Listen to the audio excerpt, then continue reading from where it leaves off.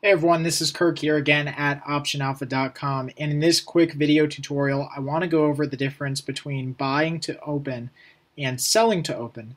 Now this is something that a lot of people who get into options trading from stock trading have trouble with.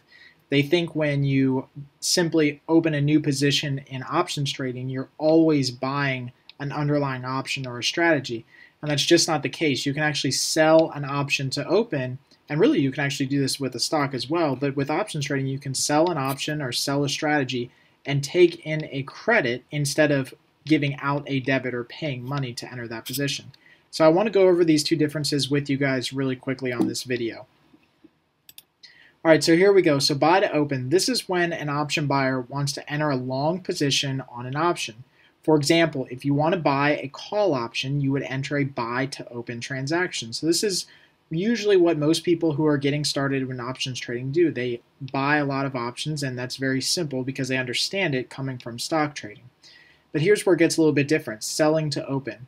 On the other hand, sell to open is when an option seller who wants to enter a short position in an option and receiving a credit.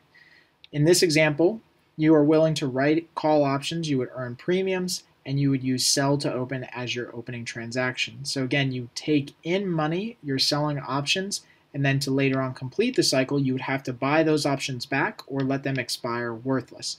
And that's how you would kind of round out that whole transaction cycle from beginning to end.